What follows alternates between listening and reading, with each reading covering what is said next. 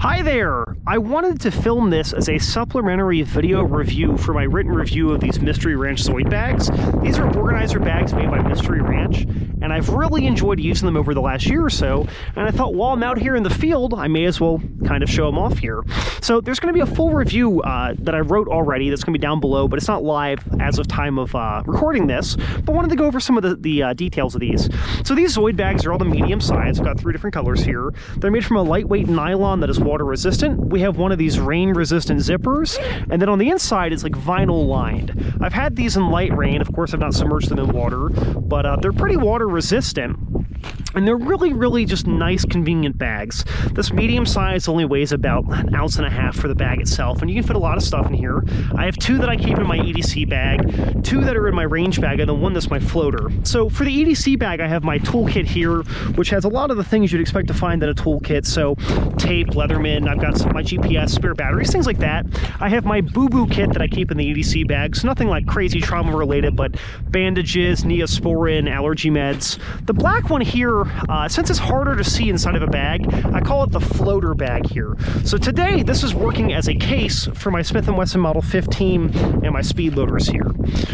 And then for the last two orange ones, those are the ones that tend to stay in my range gear. This one here is full of 9 millimeter and 22. And then the last one here is my range toolkit, which has stuff that you expect to find. Little cleaning kits, cleaning rods, spare Allen keys and Torx keys. I've got some Loctite in here and some gun lube. Things that you, you always need when you're out shooting.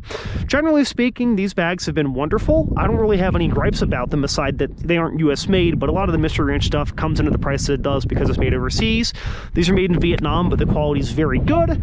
The price point on these medium ones I think is like 18 or 19 bucks, so they're pretty reasonable too. And so far I haven't managed to destroy one even though I've put some kind of sharp things inside of these.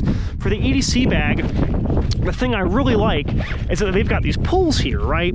And these pulls are stitched pretty deep into the bags. I can just layer them inside of my EDC bag as such, and let's say I need the first aid kit, I can just yank it out by the strap, but I've yet to tear one of these or break one. And, you know, truth be told, um, uh, you know, they don't pay me anything to say this, but all the Mystery Ranch stuff I've used has been very high quality and I've yet to destroy it or tear it or rip it. I have stained some things because, well, I use it, but usually some water helps out with that.